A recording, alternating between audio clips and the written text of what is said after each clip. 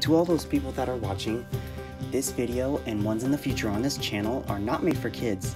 They're for adults and older fans only. Enjoy the motherfucking video.